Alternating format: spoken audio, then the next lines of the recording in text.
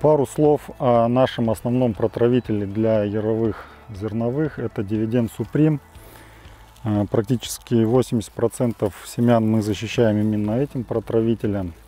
Это инсектофунгицидный протравитель, э, который защищает как от болезней, так и от вредителей. Если мы вспомним середину июня, когда мы проводили отмывку корневой системы и сравнивали два протравителя Dividend Supreme и Dividend а, был виден стимулирующий эффект на развитие корневой системы от применения препарата Dividend Supreme а, за счет э, входящего в состав э, тиамитоксама, который обладает также и стимулирующим действием.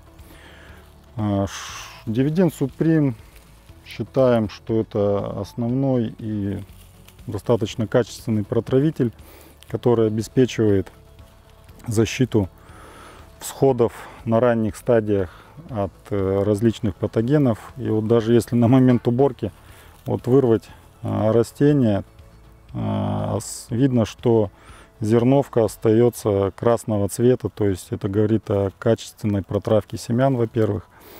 Ну и также неплохое развитие корневой системы, хотя она уже отмерла.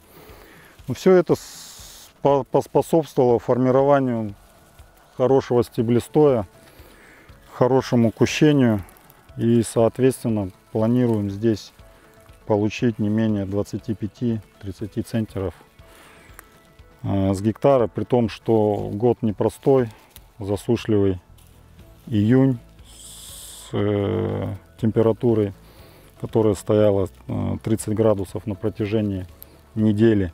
Ну, тем не менее, как видите, э, стеблестой достаточно хороший и, соответственно, все предпосылки получить неплохой урожай.